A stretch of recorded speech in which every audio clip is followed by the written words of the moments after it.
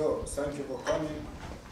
In this uh, afternoon session, it is again my great pleasure to introduce you yet another distinguished speakers, Professor Badri Krishnan, who has kindly agreed to visit us and to give a series of lectures at these schools. Professor Badri Krishnan uh, graduated uh, from Indian Institute of Technology, campus. Then he received his PhD from the Department of, of Physics, Pennsylvania State University, working with famous relativists, Abhay Ashtekar. Later on, uh, the world line of Professor Badri Krishnan passed through many places. It is indeed difficult to, to mention all of them, but I can say that Einstein Institute for Gravitational Physics, Max Planck Institute for Physics, and uh, Hanover University, and some other places. Professor Krishnan has a broad uh, interest in modern science, modern gravitational science, especially in searches for periodic gravitational wave signals, mathematical theory of black holes, application of black hole theory in numerical relativity, gravitational wave data analysis, and numerical relativity. Professor Badri Krishnan has a number of awards. Amongst them, Bruno Rossi Prize of American Astronomical Society, shared with LIGO Scientific Collaboration, Group Achievement Award of the Royal Astronomical Society, shared with LIGO Scientific Collaboration, Breakthrough, Breakthrough Prize in Fundamental Physics, again shared with the Collaboration, Gruber Cosmology Prize, shared with LIGO Scientific Collaboration, and etc. Please join me uh, to welcome warmly Professor Badri Krishnan for coming to us.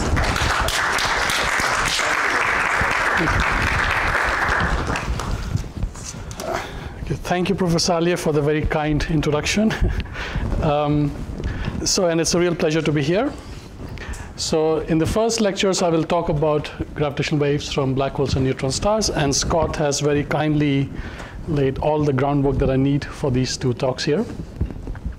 So the first two lectures are going to be, the first lecture is going to be binary black holes. I'll introduce the first detection and a few words about um, binary black holes and what we can learn from them. And the second one's going to be uh, introduction to what are called continuous gravitational waves. So these are waves from neutron stars, which have a slight deformation and that are spinning rapidly.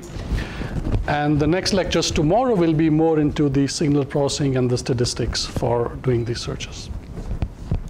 Okay, so let's get started. So for me, as for many people in this field, so the first motivation I had when I first got into the field was this really beautiful observation of the Hulse-Taylor binary system. And again, Scott has very kindly written all the equations before me, so I don't really need to do that much introduction here. So if you have a binary system, again, think of two-point particles, uh, you know, not very close to each other, and the speed's much less than speed of light. So in that case, the uh, orbital period changes according to this equation here.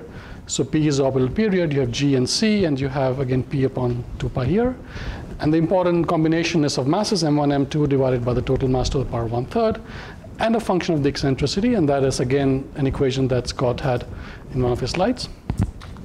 And so this, de uh, this determines the uh, rate of change of orbital period as uh, the system loses energy due to gravitational radiation. And this is valid for V upon C much smaller than 1.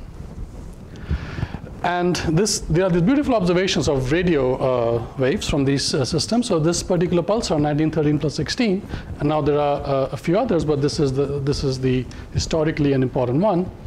So it's a binary system in which I have two neutron stars orbiting each other. Uh, one of these is seen as a pulsar, which means that we can very precisely measure its uh, uh, motion in, in, its orbit over a long uh, uh, duration. And this system is, these are the parameters, so it's about six kiloparsecs away. It is an eccentric orbit, quite eccentric in fact. Its period is one third of a day. Uh, the masses are like typical neutron stars.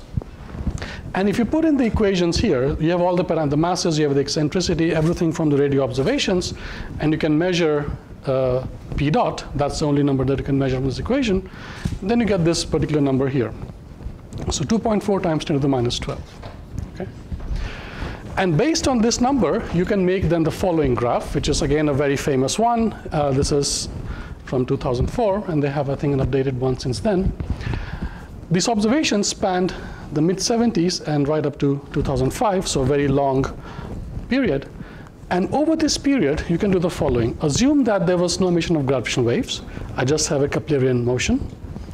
Then you know that if uh, I measure this neutron star at a particular point in its orbit, it'll come back there exactly after one period.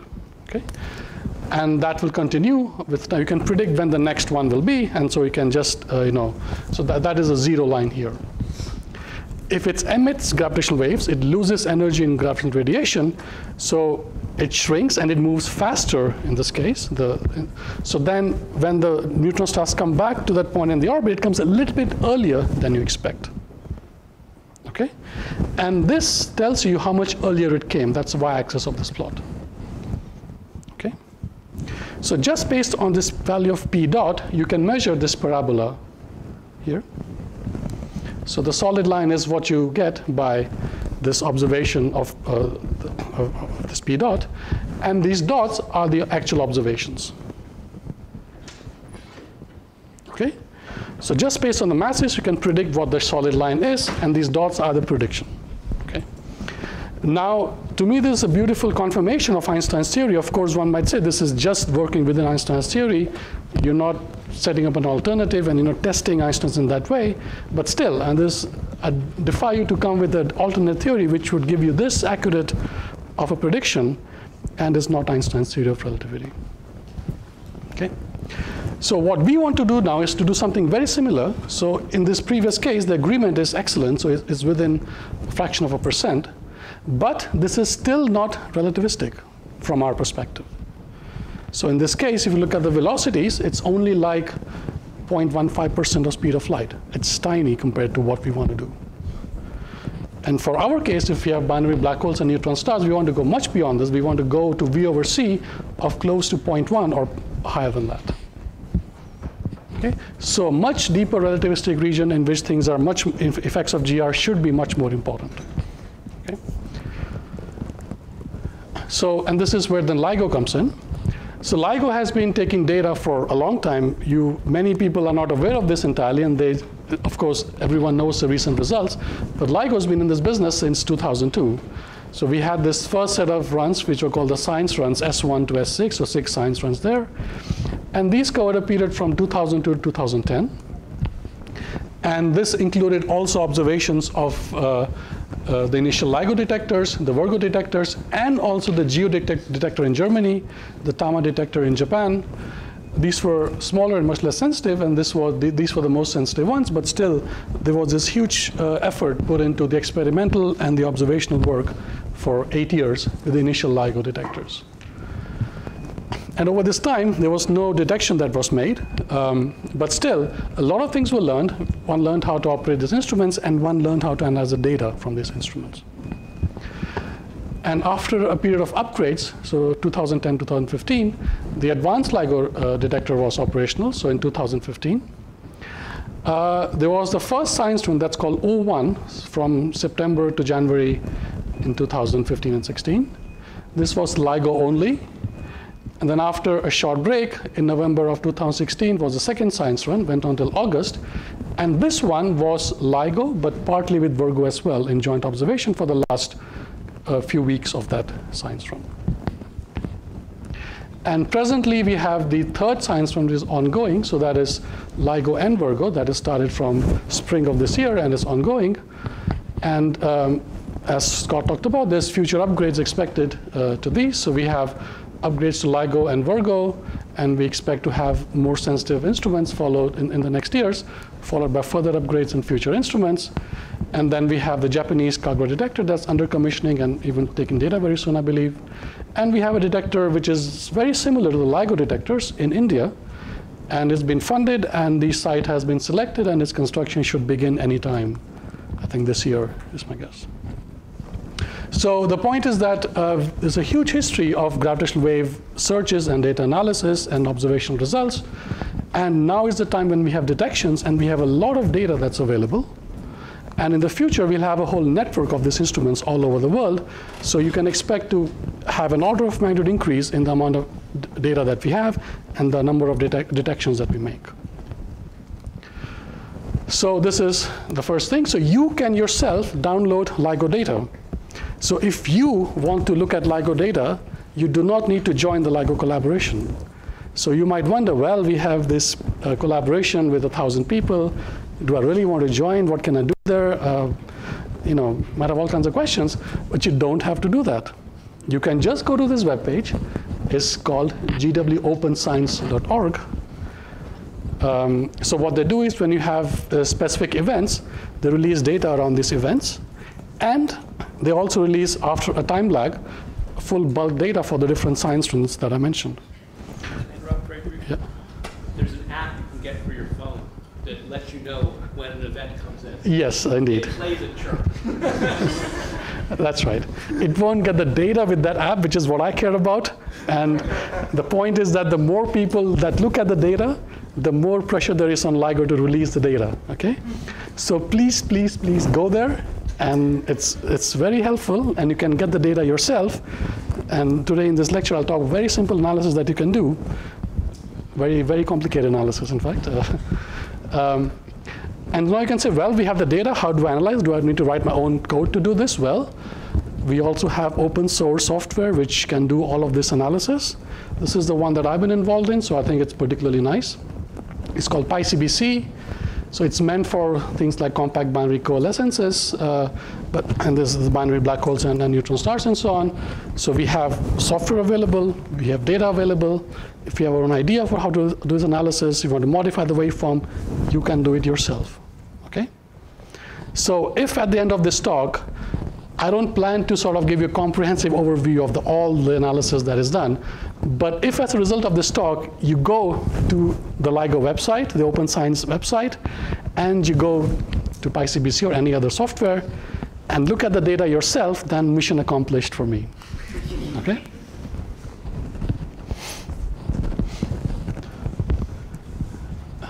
Right, so this is what I was saying. So anyone in the world, not just LIGO Virgo members, can try to discover events or properties of existing events. So if you have an idea for, you know, you believe your own binary black hole theory, you can try that out. Okay? Of course, you have to compete with all the other people doing similar analysis, but okay, that's up to you, right? So if you're smart enough, then you can do it. So thus far, uh, I think it's fair to say that of, from the bulk data releases and for the first two science runs, there's essentially three groups which have analyzed the data and reported uh, events. The first, of course, is the LIGO Virgo collaboration itself. So they have first access to the data, so they get the first cut at it. Um, so they have uh, analyzed, they have presented their list of events for O1 and O2, and they also make, as Scott said, real-time announcement of events, and you can download an app. You can get sort of these events uh, on, your, on your cell phone. And if you have your own telescope, you can point to where they say the event is. Then you can try to find the counterpart in electromagnetic observations. Uh, then there's uh, my group, so that's in Hanover. So we have, since 2018, we're not members of the collaboration, so we analyze the data independently. So far, we have completed the O1 analysis, and the O2 is upcoming. There's also group at Princeton, so they have presented their list of events from O1 and O2. I'll talk about that a little bit later. So this is sort of the first, uh, this is sort of the main things that you hear about, so binary black holes and neutron stars, so this in-spiral merger ring down that Scott talked about. Apart from these, which I will not talk about too much here, are what are called the unmodeled burst searches. So these are searches which say I have a short burst of energy for a short time, but I don't assume any particular model for this uh, duration. So this could be, for example, a supernova core collapse event, or could be some strange event which we have no model for. So this is the kind of analysis that would uh, pick this up. Okay? And again, I won't have time to go into the details here, but there's this analysis applied to the binary black holes can also report interesting sort of features of these events. There's also other very active ongoing efforts, which again, if you're not in this business, you may not hear too much about it, but I will talk about uh, the, this, this aspect here. So these are the searches for these very long duration signals. So all the binary black holes, these are very, very short events. But we also have the possibility of much longer events from spinning neutron stars, and we also have the possibility of the stochastic background from the Big Bang, which is unlikely, but from astrophysical populations of binary black holes and neutron stars. So in these cases, we have imaginary population of these uh, systems that are merging. So we can't observe them independently, but we can observe the population of these events. So in a stochastic kind of way. So that I won't talk about that in these, in, in these lectures, but again, that's also a very active field of research. Okay, so let's now go. Again, please interrupt me anytime you want for questions, and uh, I'm more than happy to, to answer them. So the first detection was in September 14 of uh, 2015. And again, it's interesting that this was not the official start of the science run. The science run should have started sort of a day or two uh, after this. And there were a number of analysis pipelines which were looking at the data in real time already in September 14th, even before that, in fact. And these were of these kind here. The, the first ones were of these, uh, the burst searches, which do not assume particle model. They just assume a burst of uh, uh, um, energy, and they want to sort of find this excess energy for, for, for, a short time. So these ones reported an event, and the people to do this were in fact right in Hanover uh, uh, run, running the searches. And, and we had this event in uh, September 14th. And um, it was clear very soon after that that this might be an interesting event. Uh, the biggest fear at the time, I remember, was uh, could this have been an injection that was done? So often what happens in LIGO is that to test all the, uh, uh, some of the hardware and all the analysis pipeline, you want to add the signal to the data in the hardware, in fact. So that's called a hardware injection. That is simply to test all the analysis uh, and, and so on. So our biggest fear was this is not a fear, but this is the biggest, uh, our, our suspicion was that somebody was doing these tests and this is what we were seeing in the data. But it became very clear that in fact this was, could not be injection because we, we did not have the capability even to do the injection at the time. So in fact, very soon after that, this was reported to the collaboration and then confirmed that this was a binary black hole system and the results were published in, in February of the following year, and the rest, as I say, is history. So this is what was seen. Uh, so I will talk about this in quite a bit of detail in the, uh, the next 15, 20 minutes. So this is the Hanford detector, that is the uh, Livingston detector, and um, so to get this uh, uh, plot from the actual data, some minimal analysis has been done, nothing very complicated. Uh, so what has been done is that the data has been bandpassed to be between 50 and 350 hertz. So in other words, the big noise sources are outside this frequency band, you take it out. You just look at the frequency range within this band here. There's some strong spectral lines in this data which have been removed. And the signal in Hanford arrives a little bit later uh, than in Livingston. We have two instruments at the other opposite ends of the United States. So detect uh, the signal reaches one instrument first and then the other one a little bit later. So you shift them in time so that you line them up. And the orientation of these two detectors is opposite to each other. So you've got to flip the sign in one instrument. So what is done here is, um, is exactly that. So so this is Hanford and Livingston combined with this operation of this time shift and the flip. So then you see that the signal, this one here, aligns pretty well in the two instruments. Okay? So then it's clear that there is a possibility of an event in the, in the, in, in the data. So of course, then you have to do further analysis to see what was this event and could this have been caused by some noise in the detector itself. So that was what several months after that were spent, we spent doing. And this is, in fact, a very useful presentation of the signal itself. This is exactly what Scott talked about, about the chirping signal. So what you see in time is, first of all, note the time. It's a very, very, it's a sub, it's a fraction of a second here. over this time, the frequency of the signal increases very rapidly, and it's very, very loud at the end. Okay? So it's what is called a chirp signal that is increasing in frequency, increasing in amplitude, exactly the way that you heard about in the previous lectures. Okay? So now you can ask yourself, well, why, and by the way, so this is a reconstruction of this same event with a numerical relativity simulation, which was simulating two black holes orbiting each other. And again, the fit with these choices that were made was still quite good. But I won't talk so much about that. I'll talk about, in fact, this plot here. Okay? And this is something that I want to get to hopefully by tomorrow. So this is the plot which convinced us that the event was actually significant. So particle physicists told us that we need a five sigma event to have to claim something extraordinary. So we said, okay, we'll give you a five sigma calculation. and certain choices were made which ensured that we would get to five sigma. So in this plot, I'll explain this in much more detail tomorrow. This is the background of events. That is the first binary black hole detection, and that is this. Uh, that is much more than that is more than five sigma. But I'll talk about this later.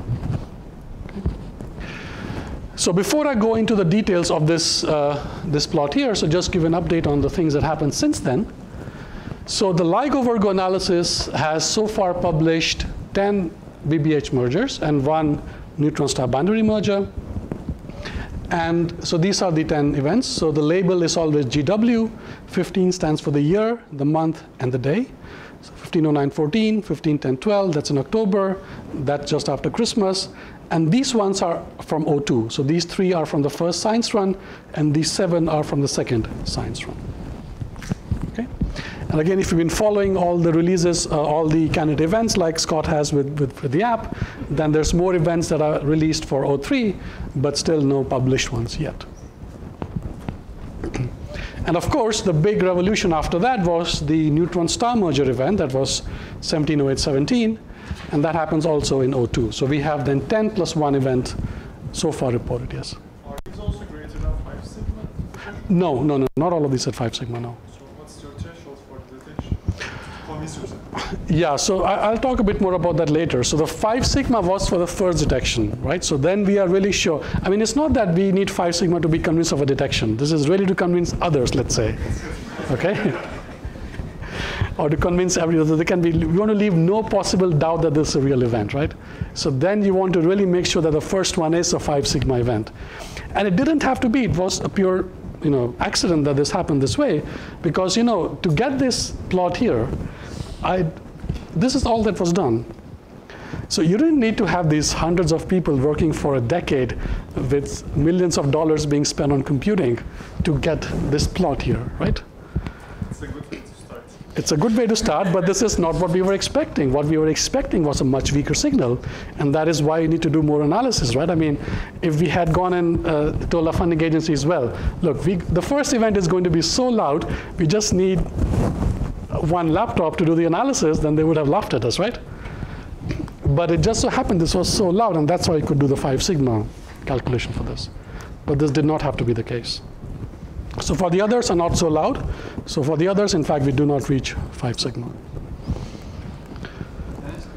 Yeah.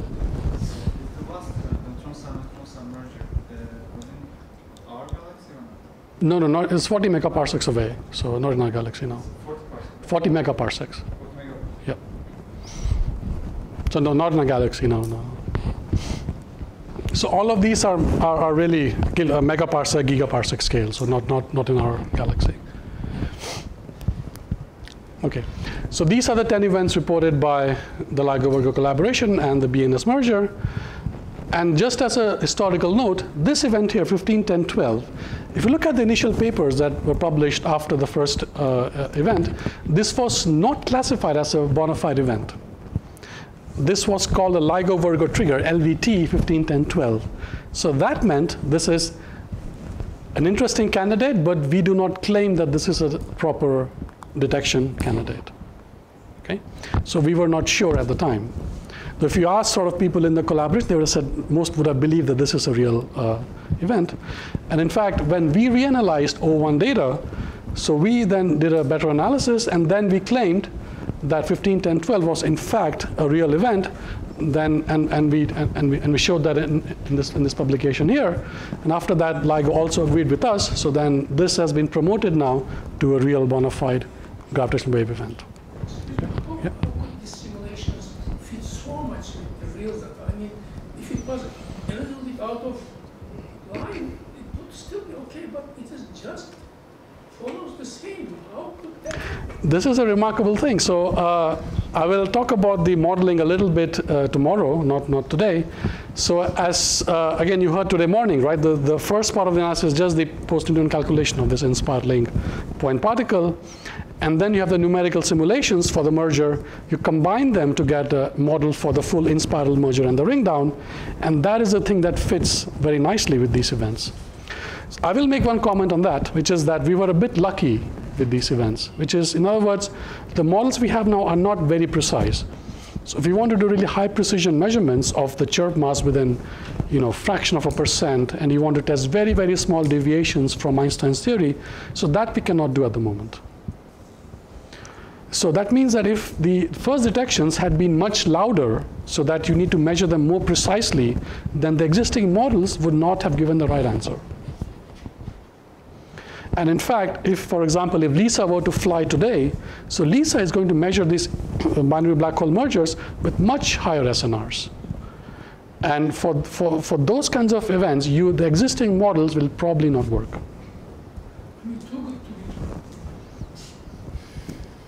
What can I say? Yes. Uh, I mean, you say that this is too good to be true. I mean, this BNS was even more too good to be true, let alone the modeling uh, issues there, right? Um, just to give an idea of this, right? We had to localize in the sky. And I had made a bet with people that Virgo would not see any event in O2, which was true, but this event happened to be exactly in the blind spot of Virgo, which allowed us to localize this thing better in the sky. So many, many things had to go amazingly right for uh, even for this event. And in fact, if you ask someone a BNS event at 40 megaparsec, they'd say, the first one, you're crazy. This cannot be. So nature is very kind to us. And also, if you look at these events here, right? Uh, look at the, we have 10 events. We have 12 months in a year. You might expect one in January, one in February, one in March. But look, it's mostly in August and September. The universe produces black hole mergers in August and September. of course, that's a statistical thing. Once you have many more events, then it should be a much more uniform distribution. But I mean, as of now, To be fair, haven't there, there was an analysis that looked into the distribution, and it's, it's not that big. wide- it is, yes. I, I'm just saying that, you know, if, if you didn't do any analysis, just looked at this list here, right? Look, eight, eight, eight, eight. No, come on. so many strange things have happened in this business here. That's true. I mean, on that, there have been three candidates released in the past week. Uh, So in fact, we're coming to August now, okay?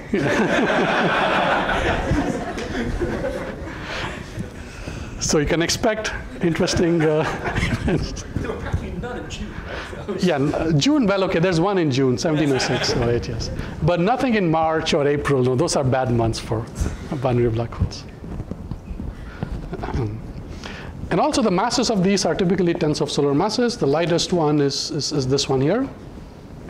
And the distances are, you know, hundreds of megaparsecs or a gigaparsec away. Okay, anyway, so let's go on. And then there was the results from the Princeton group that is much more recent, earlier this year. So they found a new event back in O1, which was 15, 12, 16. So that's 10 days before the third event there. And they also claimed three new binary black hole events with high significance in, in O2. So, um, and they claim three other more marginal events. So these are three and these are four events in addition to the ones that have been released so far. So this we will see in the, in, in the next weeks or so if this is true or not. And again, this is something for you to get involved in. So somebody has made a claim that there are actually interesting events in LIGO. You can get the data yourself, you can get the software yourself, you can write your own code to do it if you want, and you do not have to join this big thousand or plus member collaboration to do so. Okay? Mm. All right, so let's go back to the first BBH merger. So the basic question is, what we saw was this thing here. Okay? Why is this a binary black hole merger? Assume you didn't know anything else. This is all that you saw. So then you might, and then you look at this particular plot, here's the frequency is increasing. What could this be, right? Could it be a collapsing star? Well, maybe it is, right? I mean, as the star shrinks, its angular momentum is conserved, it spins up faster, so maybe you can get that to work, okay?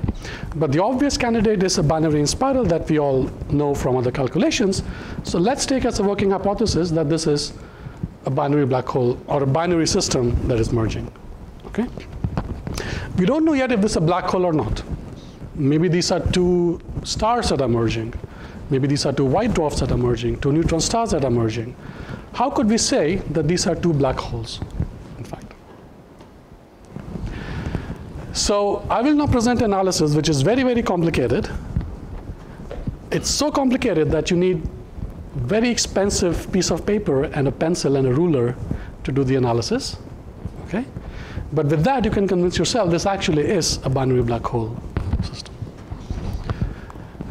Uh, so we'll go back to this equation that Scott very helpfully derived, which is the frequency rate at which it changes, which depends on the chirp mass m1, m2 to this power divided by total mass to that power. And you can integrate this equation. So you get f to the minus 8 thirds is proportional to the time.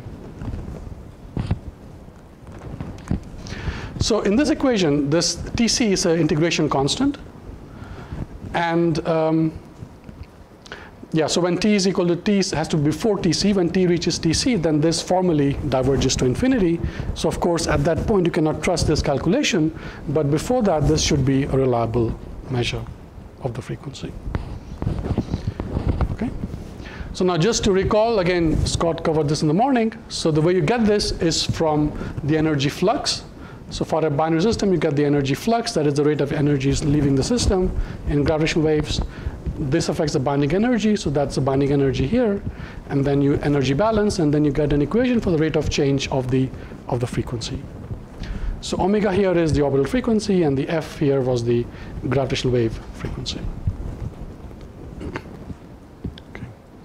So now here's what you can do. So you have this particular plot here, Okay, go to the LIGO web page, print that thing in a big piece of paper. You can make it a print on a graph paper if you want. Okay, and then you do the following. So you take a ruler, draw an axis of time right across here, and you measure the time between two successive zero crossings, let's say uh, measure the time between two of these successive peaks or the two of these successive troughs here. Okay?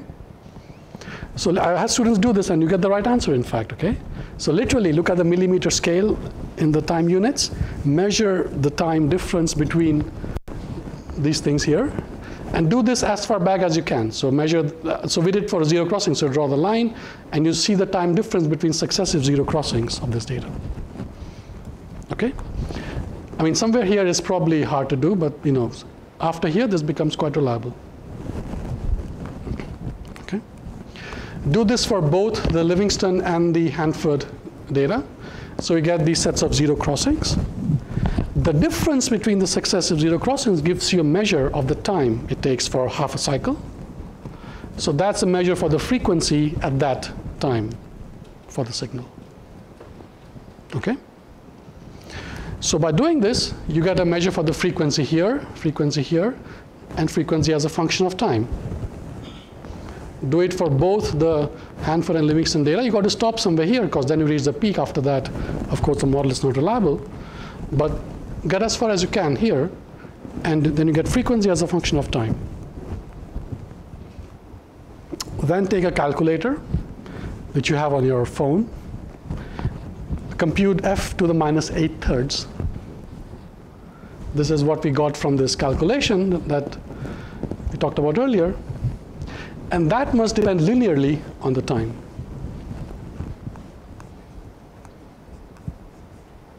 Okay? And then you plot f to the minus 8 thirds. Okay, you got to subtract some fiducial frequency uh, uh, with, with some scale here, not subtract. And then you get a straight line and try to fit a straight line to this data points. And you measure the slope of this line. Again, take a ruler, measure the x-axis, the y-axis, divide, and you get a slope. And convert the slope with this equation that we have here, with this coefficients, and estimate thereby the chirp mass of the system. Okay? Any questions on that? As I said, very complicated. You need a big grant and a big computing facility to do this calculation, but good. And if you do this, then you can see how much do you have to vary the chirp mass to fit the data, and you can find a best fit. So the best fit is the blue one, um, that is the one here, that is about 30 solar masses, and the, and the red one is uh, about, no, sorry, green is the best fit, the red one is for 40 solar masses, and the blue one is for 30 solar masses. So in, in, in, the end, you find from this calculation the chirp mass has to be between 30 and 40 solar masses. Okay? So what does this imply for the system now? So let's now go back to the model we had of the binary merger. Okay? So assume for simplicity that both the masses are the same. We'll simplify this later, but just for the moment, assume m1 m is equal to m2. Then from the chirp mass, you can get the total mass, which is just this constant here times the chirp mass, and the total mass therefore is about 70 solar masses. All right? And then you say, well, go back to this plot that we had here. How close to the two, how fast is orbital frequency? This is, this remember is twice the orbital frequency. Okay? So again, to see that, just keep in mind equal masses. If I just switch them half an orbit, you get the same system back. So the frequency of gravitational waves is twice the frequency of the orbit. Okay? So at a frequency of 150 hertz, the orbital frequency is 75 hertz. Okay?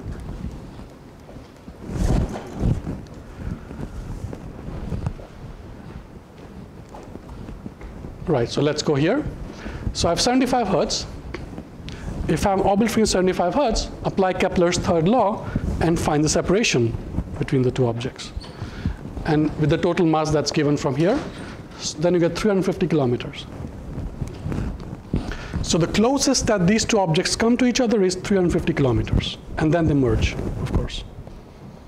But in that model, the closest they come roughly is 350 kilometers.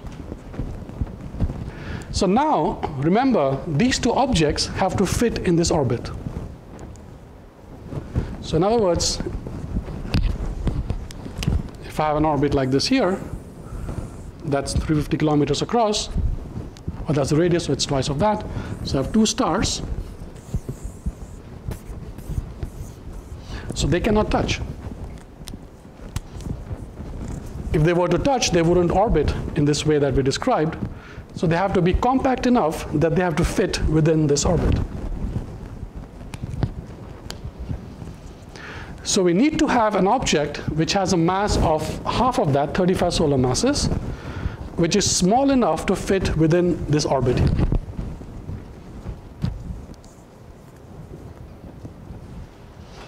And if you look at the Schwarzschild radius of 350 of, of, a black hole of uh, 35 solar masses, you'll get 103 kilometers.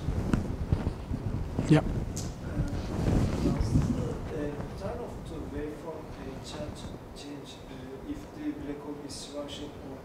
Indeed, it does change, yes. So, yeah, so this is not going to replace, I will talk about that in a minute. So, of course, the actual analysis done in the LIGO publication was not this one here. So it was a much more sophisticated analysis which included all the effects that you, that you have in mind. And that gives you the right answer, of course. So this is not going to give you the right answer. It's going to give you sort of a heuristic picture of what the system is. So if you want sort of a first back of the envelope calculation, then this is what you might do. This is not meant to replace the full analysis, of course. So just to say, just based on very simple argument, just from the data that we have, can we say these are two black holes? That is the only purpose. So of course, you have effects of spins and eccentricity and so on. All of those will modify the, the result, and you get much more accurate results, but this is not meant to be that. Okay? So anyway, so if these were two Schwarzschild black holes, and of course, R1 plus R2 would be 206 kilometers, and that would fit within 350 kilometers. And there's no plausible neutron star model which can be which can lead to masses of 35 solar masses or 70 solar masses. So the only alternative that we have right now from known physics are two black holes. Okay? So now you might say, well, what happens if we included mass ratios? That's easy, in fact. So now you can say, well, let's assume that the mass ratio is not exactly 1. So let's call Q to be the mass ratio, m1 upon m2. And let's take the convention that m1 is bigger than m2. Okay? So we have a new parameter, which is the mass ratio, which is bigger than 1. Still, the thing that we measure from the data is the chirp mass. And the chirp mass depends on the total mass in this way. You can just do a little algebra to check that. So total mass is chirp mass times this function of this mass ratio. If the mass ratio were bigger than 1, in fact, then this m would be even bigger. So that's something you can really check. This is a minimum when q is 1.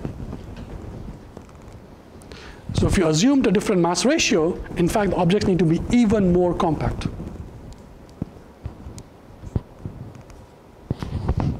so even more likely to be a black hole. And then similarly, eccentricity, well, that's easy. The r that we measure is the semi major axis in Kepler's third law. If we had eccentricity, then the minimum approach distance would be r times 1 minus eccentricity. So the orbit is smaller at the closest point of approach. So the objects have to be even more compact than we discussed before.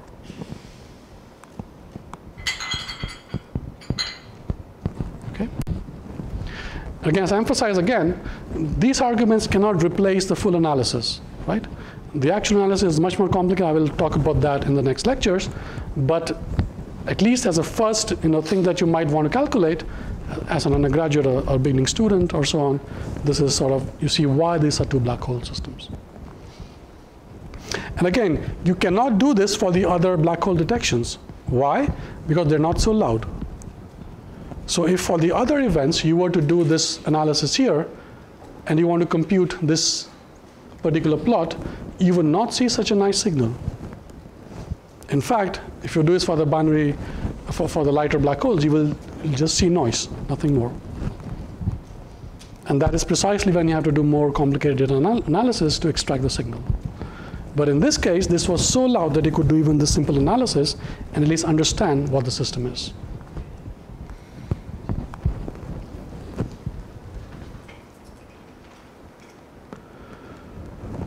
Okay, so this, this we completed. So now you can do more complicated analysis for 15914. And then these are the results that were, that were found. These are the more accurate results. So what you found was that the initial masses were 36 and 29 solar masses with these error bars, and the spins were essentially consistent with non-spinning. So this chi is a dimensionless spin, so this is j upon m square for the black holes. So this is should be between uh, well, 0 and 1 or minus 1 and 1, depending how you, how you define it. But the, the, the, in this case, from minus 1 to 1. And with these error bars, these are basically consistent with zero spin. So as far as we can tell, the model for non-spinning black holes with roughly comparable masses fits the data very well. So now what you can also do is you can compute the mass of the final black hole. How do you do this? Well, uh, as I said, we have these numerical simulations of these binary black hole uh, mergers. So you can really compute, uh, you know, the full merger process, look at what the final black hole is, and measure the final mass in these simulations. And then you can make a fit. You can say, well, based on these simulations, if these masses are initially this and the spins are, are this, what is the final mass and final spin? And then this is the answer. The final spin is roughly 0.67, and the final mass is about 61.8 solar masses.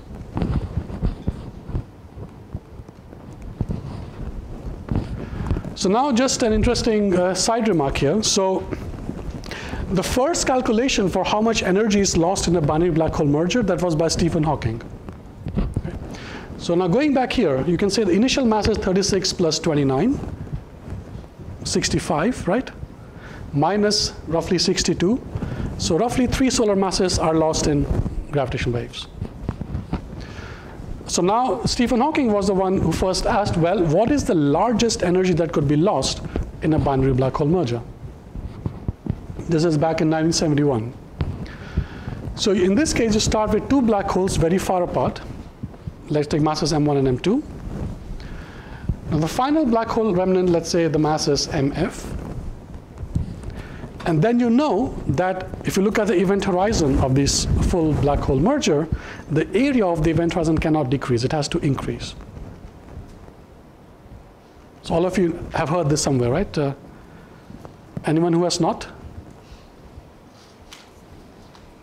Right?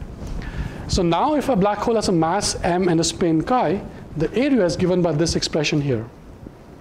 So m1 times 1 plus the square root Thank you.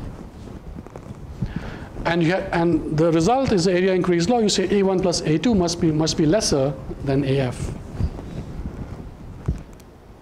So that gives you this constraint on what the masses and spins must be. And a little bit of uh, uh, for the manipulations, you want to limit what is called the efficiency, that is the mass that is radiated away divided by the total mass. So that is this quantity epsilon here.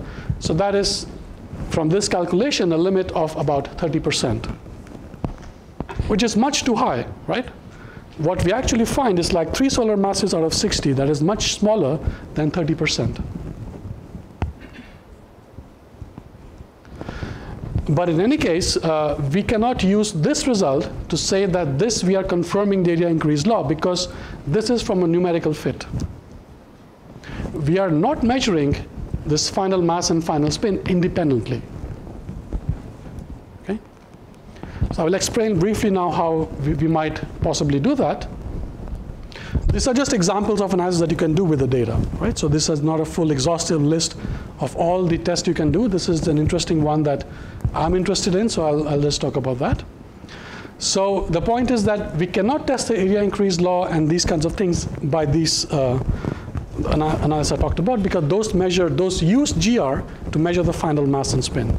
So those assume data increase law. Yes? Yes, indeed. So I will talk about these things tomorrow, um, indeed. So the way that these things work when you, when, when you go here is that you got to assume some priors for the initial parameters, so masses and the spins and so on, and you do the analysis and you get posterior distributions for these quantities, and these are sort of credible intervals based on those posteriors. Uh, this is dimensionless. So this is, uh, so chi is j upon m square. So j is the angular momentum of the black hole and m is the mass. And this should be between minus 1, depending on the uh, direction of j, so between minus 1 and 1. That's units with g equals equals. Yes. Uh, that's always, yes. yes. Yes. And in fact, it's a non-trivial thing. So if you compute this for the sun, you get a number bigger than 1. Okay? So the fact that for black hole this is, has to be less than 1 is quite a non-trivial thing. Can you convert it to numbers we are familiar, like whatever spin radian per second?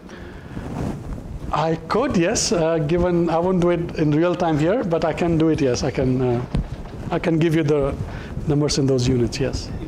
If, if, something which is not, I can write down the formula for this when you're done, if you like. Uh, there's a simple formula, if you know that chi, you can write down what would be the, be careful with these things, but I can tell you what the spin period is of an observer who's sitting just outside the event horizon as seen by someone far away.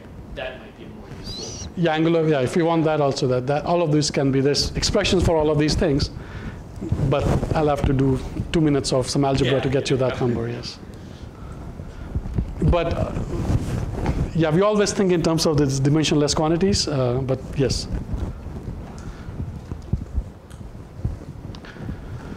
Okay, so let me now give you, okay, I think we can, we have still some time, right, for this? All right, so let me now give you a short um, description of how, you how you would measure these final parameters independently without doing analysis that I just told you. And once again, uh, Scott has very helpfully told you how what the waveform looks like at the very late periods. So, so far we always talked about the waveforms in the in-spiral part. So that's this part here. At the very end, the waveforms are more like the damped sinusoids that Scott talked about. Okay? So can we use that to measure the final mass and final spin? And indeed we can. So let me tell you how. So what, this is the plot that was one of the LIGO publications, which was test of relativity with, with, the, with the first black hole detection. So let me go through this plot very slowly. Okay. So what you have are the model is a damped sinusoid for the very end of the signal. Okay. So let me again draw that here briefly.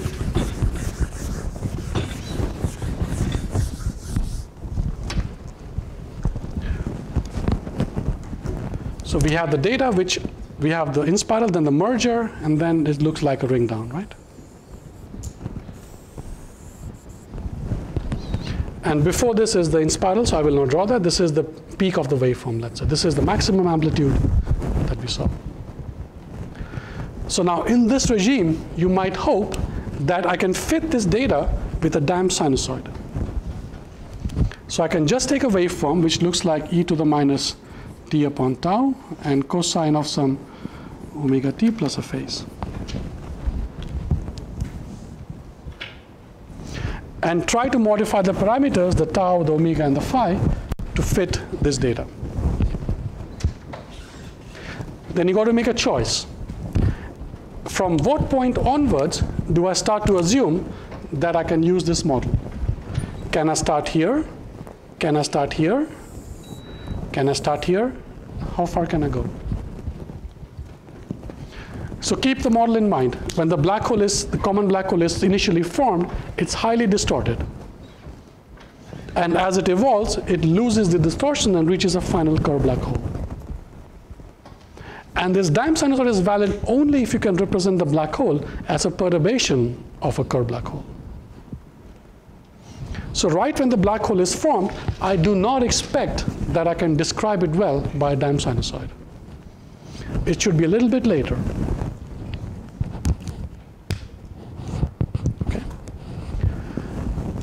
Then let's do the analysis then, right? So this is the result.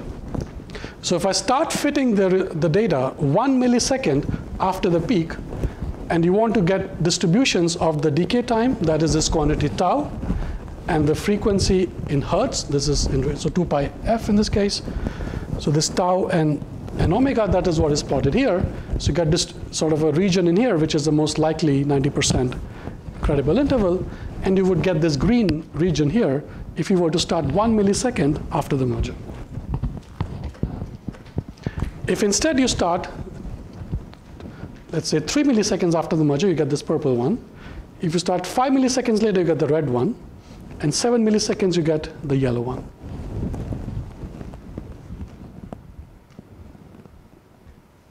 And this one here is the prediction from GR based on the initial parameters. In other words, if these dotted lines agree with this solid line, then we have agreement with GR, and if not, then the things are not consistent. So of course, three, one millisecond after the merger, the data is not consistent with the fi final one because the black hole has not reached anything like a perturbed equilibrium solution.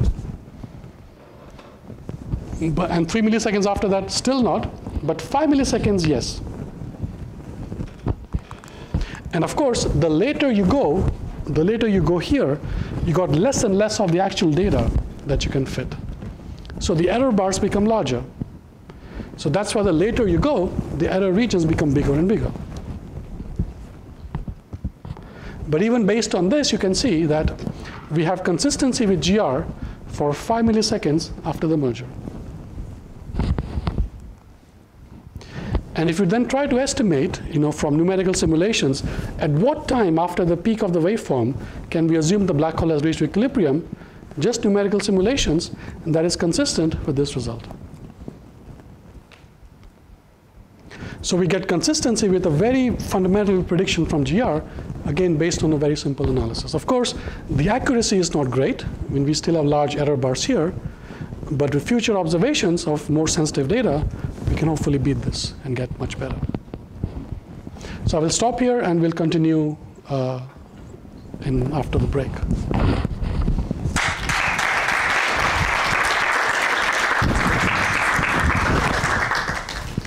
So questions?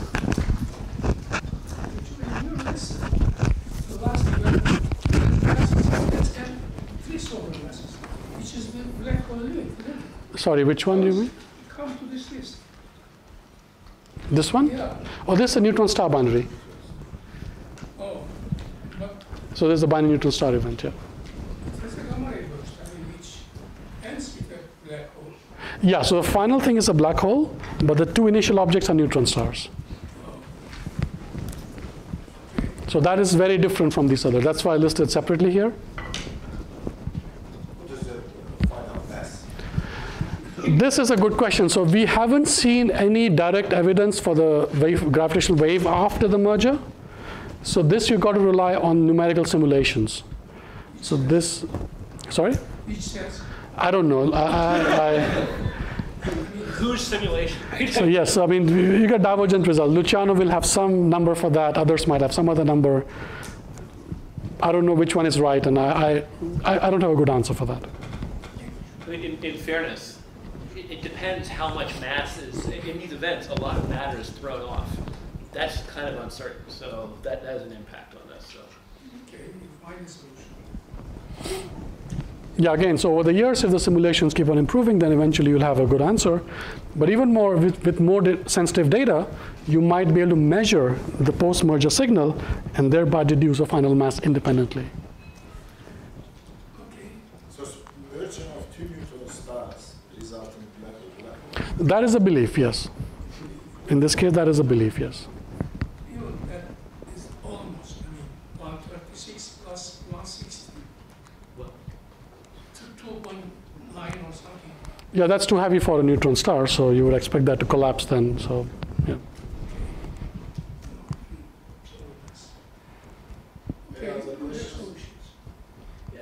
First slide, uh, to find the frequency versus time graph, uh, since you know the Sorry, which one? time variation of the signal, isn't it possible to use, yeah, here, This one? isn't it possible to use, in order to find the frequency versus time graph, since you know the time variation of the signal, Mhm. isn't it possible to use wavelet transform to find this graph? In fact, yes. And in fact, the un, these, these analysis I mentioned, these burst searches, that's exactly what they do. So again, if you are if you're an expert on wavelets, use it, get the data, apply your wavelet technique, and publish.